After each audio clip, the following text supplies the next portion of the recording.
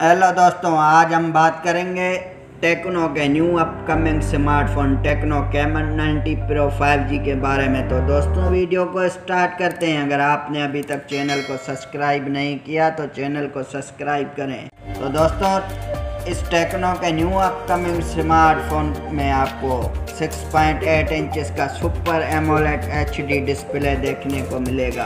तो दोस्तों, इस स्मार्टफ़ोन में कनेक्टिविटी की बात करें तो यहाँ पर आपको 5G 4G ड्यूअल सिम देखने को मिलेगा। तो दोस्तों, बात करते हैं स्मार्टफ़ोन के बैक साइड कैमरे के। यहाँ पर आपको 64 मेगापिक्सल, प्लस 2 मेगापिक्सल और साथ ही में आपको फ्रंट कैमरा 60 मेगापिक्सल का देखने को मिलेगा।